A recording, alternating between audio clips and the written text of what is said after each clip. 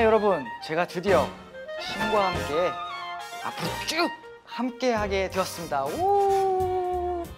네 저는 어, 예능 하면서 처음으로 고정을 하게 됐는데요. 정말 너무 감사드리고 음, 정말 앞으로의 방송이 엄청 설레고 되게 기쁜데 어, 항상 형님들 그리고 우리 스태프분들이 정말 재밌게 잘 해주셔서 정말 즐거운 촬영을 하고 있습니다.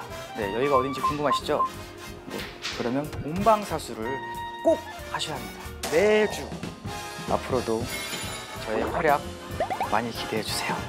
그러면 신과 함께 시우민과 함께 감사합니다.